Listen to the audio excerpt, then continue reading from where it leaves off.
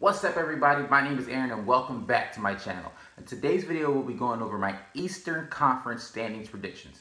Now this, I'm not going to hold you, it took me a while to come up with this list. I moved some teams around a lot. I bumped, bounced some ideas off some of my friends and um, let's get into it. Coming at number 15, I have the Brooklyn Nets. I don't really see them doing this much without Brook Lopez gone. I mean, I know they picked up D'Angelo, but I, they, I just, that's it. Like they have him and no one else really. So I don't really see him doing much. I will see him like you know blossoming and coming into his own. I think he's going to average 20 this year, but that's about it. Coming at number 14, I have the Orlando Magic. Once again, the team I don't see really doing much. I like the I like the mix of Vucevic, Gordon, and Elfrid Payton. I like those three, but they're still young, um, and they're just not going to do much this year. Coming at number 13, I have the Atlanta Hawks. Um, that team is nowhere near the team that we saw like you know 2013 2012 when they were actually great um, only thing that's left from that team back then is Schroeder and Bazemore everyone else is kind of gone um, and that team basically just has Schroeder and Bazemore coming at number 12 we have the New York Knicks you got Melo you got Porzingis I don't really see him doing much. Um, yes, it's good that Phil Jackson's out of there, but Melo still wants to leave. And if he does leave before the All-Star break, they're definitely not getting hired at number 12. Coming in at number 11, we have the Indiana Pacers. Paul George is gone, but we still have a decent front court with um, Al Jefferson and Miles Turner. Um, Lance Stephenson is still there, kind of hold the rock a little bit, but I don't really see him doing much. Lance Stephenson was great a couple years ago. He left, thought he could be his own man, came back, and he wasn't the same. So I don't really see him doing much, but I, I like the I like the front court. I like Miles Turner. I think he's going to be a nice big man in a couple years.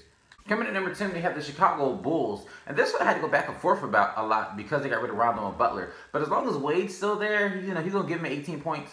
Um, Zach LaVine's decent. Kris Dunn's decent. I don't think they're as bad as they want to be. I think they want to be worse than this so they can get some good draft picks. But I think they're going to stay around that 10 spot. Unless Dwyane Wade leaves, then they might move a little, you know, lower in the standings. But as long as Dwyane Wade's there, I think it's going to keep them in that 10th spot. He's going to be the savvy veteran that teaches the young guys. At number nine, we have the Philadelphia 76ers. And for me, they're a bit of a wild card. Because, you know, being from South Jersey, the Sixers fan that I am, wants to feed into the hype make them higher on my list. Make them, a, you know, a playoff spot, at least number like seven.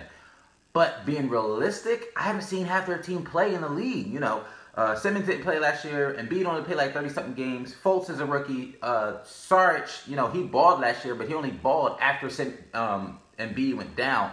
So like if they gel together and everybody stays healthy, they're going to be higher than number nine, and I think they're going to make the playoffs. But because I haven't seen anybody yet, I only put them at number nine.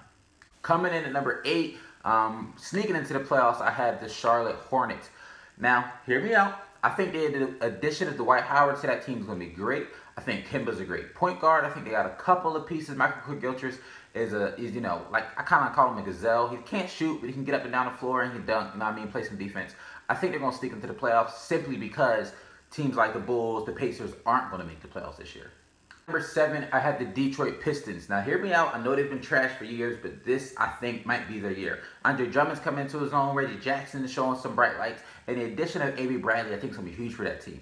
And also, so many other teams aren't making the playoffs that's made in the past couple years. I think this might be the year they just sneak in there. Coming in number six, we have the Miami Heat. They almost stuck into the playoffs last year. They had a great run in the second half of the season. With their whole team being healthy this year, I definitely see them coming in, coming in, making the playoffs. Mm, I don't see them making it past the first round, though. They might. They're definitely not making it past the second. Coming in number five, we have a great up-and-coming team in the Milwaukee Bucks. Giannis is a beast. Um, he wants to get MVP. Kobe said go get MVP this year. He's been putting up a lot of weight. I've been seeing him working out in the gym. He's putting some shots up. He might have a little bit of a strap this year. Might be able to knock down a couple open threes better than he did the last couple years. Um, but that's a really fun team, really exciting team to watch. Uh, I think they're going to be good this year.